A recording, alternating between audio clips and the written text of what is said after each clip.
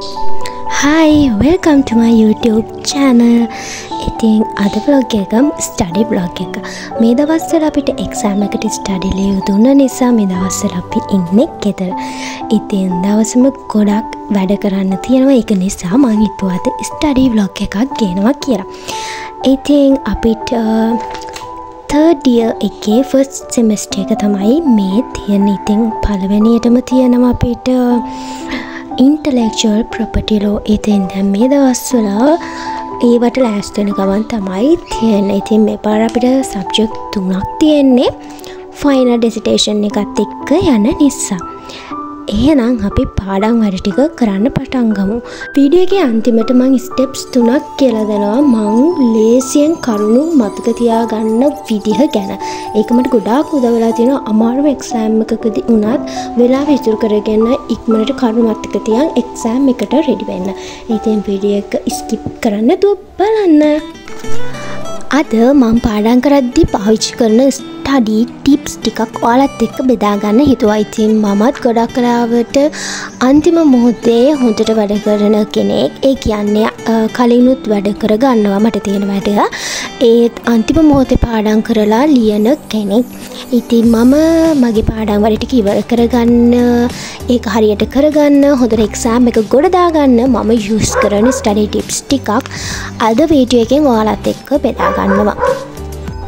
පලවෙනි study tip එක විදිහටම යස් කරන්න ප්ලෑන්ද ස්ටඩි ටයිමන් සෙට් ස්පෙසිෆික් ගෝල් ඒකෙදී මම කලින්ලයාගත්ත දකින නැති මම ටඩු ලිස්ට එකක් මම ඉස්සර ටඩු ලිස්ට් එකක් ලියලා ගොඩක් වැඩකරු ඩොක්ටරේ නැහැ.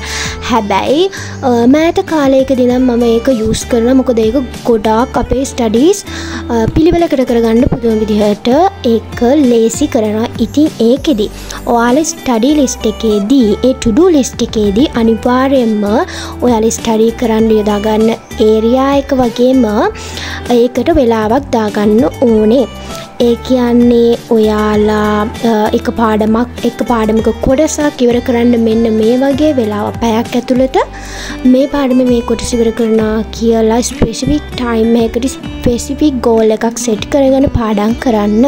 එතකොට ඒකෙන් ෆෝකස් එකක් වැඩිවෙනවා වගේම ටයිම් එක ඉතුරු වෙනවා ගොඩක් අමාරු පාඩංවලට වැඩිපුර අවධානයක් දීලා පාඩන් කරන්න. ඉතින් ඒක ගොඩාක් වැදගත් ටයිම් මැනේජ්මන්ට් වලට එක්සෑම් එක ගොඩක් ලංවෙලා අපි පාඩන් කරනකොට. දෙවැනි ටෙක්නික එක විදිහටමං කරන්නේ පාස් පේපර්ස් කරන එක. පාස් පේපර්ස් කරන එක ගොඩාක්ම වටිනවා අපි එක්සෑම් මෙහකට පාඩන් කරන්ති මොකද පාස් පේපර්ස් එකෙන් අපිට අයිඩෙන්ටිෆයි කරගන්න පුළුවන් ඒරියාස් මොනවද අපි පාඩන් කරන්න ඕන? ඒරියාස් වගේම ඒ පේපර් එක හැදෙන රටාව. ඉතින් මේ පාස් පේපර්ස් එක කරන එක මට ඒලවල්ස් වට වගේම ඕලවල්ස් වලටත් ඒ වගේම මගේ දැන් ඩිග්‍රී එකේ වැඩවලටත් ගොඩාක්ම ගොඩක් උදව් වෙලා තියෙනවා. ගොඩක් කලාට හොඳා පුළුවන්නම් අවුරුදු දහය පෙතර පාස් පේපස් කරන එක ඒ නැතත් එච්චරි ටයිම ගන්නතම් අඩුවතරමේ අවුරුදු තුන හතරකවත් පාස් පේපස් අරගෙන බලන්න. ගොඩක් කලාට මම ලියන්න මට ටයිම එක නැත්තම් මම ඒ පාස් පේපස් අරගෙන තියෙන ඒරියස් මොනාද කොහොමද පාස් පේපස් වල්ක්වේෂන්ස් ඇවිල්ල තියෙන්නේ? ඒ වගේ දේව බලල පේප එකේ පැටන් එක හොඳට අඳුරගන්න එක ගොඩාක් ලේසි ස්ටඩි කරන්න ඕන ඒරයා එක අඳුරගෙන හරියටම පාඩම් වැඩටික කරන්න. එක නිසා අනිවාරයෙන් පාඩම් කරදි පාස් පේපර්ස් බලන්න. සමහරක් කෝසස් වලදි මඳ කළ තියෙන පාස් පේපර්ස් හැ එය අයට පුළුවන්. එතකොට යාල පාඩම් කරන ඒරයා එක එන්න පුළුවන් විදිහේ කක්ෂන්ස් එයාලම හදාගෙන ඒවට උත්තරලියලා පාඩම් කරන්න. එතකොට ඒකත් ගොඩක් උදව්වෙනවා එක්සෑම් එකේදී ටයිම් එක මැනේජ් කරගෙන හරියට එක්සෑම් එකට ලියන විදිහට හුරුවෙන්න ඉතින් ඕක තමත් දෙවනියට මම ෆලෝ කරන්නේ. ඊළඟට ෆලෝ කරපු මගේ ස්ටඩී ටිප් එක ගොඩම් ගොඩාක් වැදගත්ලා තියෙන මට එක්සෑම් එකෙදි ගොඩක් හොඳට දේවල් මතක තියාගන්න වගේම ගොඩක් ලේසියෙන් කරුණු මතක තියාගන්නේ වගේම මේ ටෙක්නික් එක ගොඩක් අමාරු එක්සෑම් වලදි වුණත් ලේසියෙන්ම කරුණු මතක තියාගන්න ගොඩක් ප්‍රයෝජනවත් වෙන්න පුළා ඇති මේකෙද ස්ටෙප් තුනක් තියෙනවා. එක ස්ටෙප් තුනක් විදිර තමයි තියෙන්නේ. ඒටික පිළිවෙලට මම කියන්නම් කොහොමද ඒක කරන්න ඕනෙ කියලා.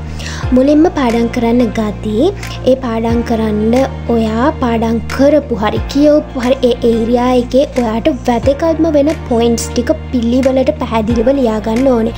තියෙන හැම ලෙක්ෂය එකම්ම බලලා ඒවගේම තවමතර දේවල් කියවන්ට තියෙනගේ ඒ දේවරුත් කියවලා තව පොත්පත් කියවලේ හැම දෙයකින්ම පිළිවලට නෝට් එක කදාගෙන ඒ නෝට්ස් වල තියෙන දේවල් පොයින්ට් වශයෙන් පිළිවෙලකට මුලින්ම ලියාගන්න ඕනේ. ඊට පස්සවා එලියාගත්ත ටොපික්ස් රෙකෝඩ් කරගන්න ඕනේ. ඔයා තව කෙනෙක්ට කියල දෙනාවගේ ඒ පොයින්ස් වලට ඇඩ්වෙන්න ඕන. අමතර දේවල් මොනවද?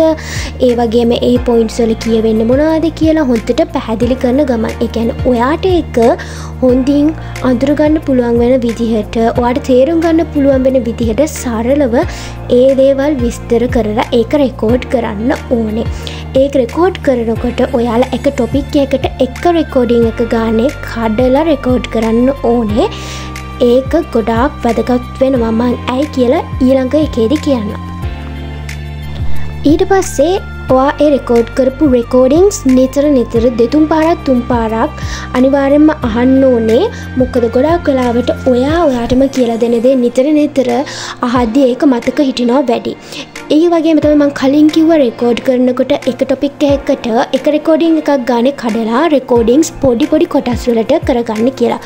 මොකද ගොඩාක් එක දිගට පැයගානක රෙකෝඩිං එකක් අහද්දී ඔළුවට යන ප්‍රමාණය ගොඩක් අඩි ඒ ටොපික් එක පොඩි කොටස්වලට කඩලා පොඩිපොඩි රෙකෝඩිංස් වලට අහද්දී මතක හිටින ප්‍රමාණය වැඩිවෙන වගේම අහන්නත් ලේසි වෙනවා කම්මලි හිතෙන්න හැ ඒක නිසා ඒ රෙකෝඩිංස් පොඩිපොඩි කොටස්වලට කඩලා හොතින් අහන්න.